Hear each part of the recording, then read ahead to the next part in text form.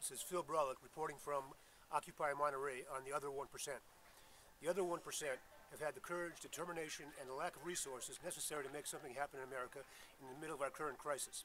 The other 1% have made it, the 98% sit up straight, take notice, and feel that they can actually do something. The 1% on top are the problem, though even the enemy. Well, the other 1% are the heroes. They should get a reward, they should get a medal, they should get a sash, something. The other 1% set up these camps, are holding these camps, and will keep them going until we actually get something done. The other 98% should show their appreciation and vote. Get the tax the rich agenda out there. The other 1% should get a medal, and let's, let's encourage them. Let's keep the donations coming, let's, let's encourage them, let's give them the rewards and the recognition they deserve.